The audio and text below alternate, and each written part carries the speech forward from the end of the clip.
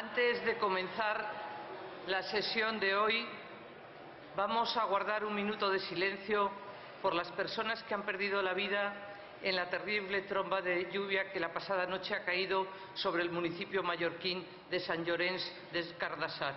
Desde aquí vamos a enviar nuestra solidaridad a sus familias, a las de las personas que están desaparecidas y al conjunto de todos los afectados. El Congrés dels Diputats ha celebrat un minut de silenci en memòria de les víctimes d'aquesta torrentada al llevant de Mallorca just abans de començar la sessió de control al govern. Els diputats que avui participen a la sessió han manifestat d'aquesta manera la seva solidaritat amb els afectats pel temporal de Mallorca.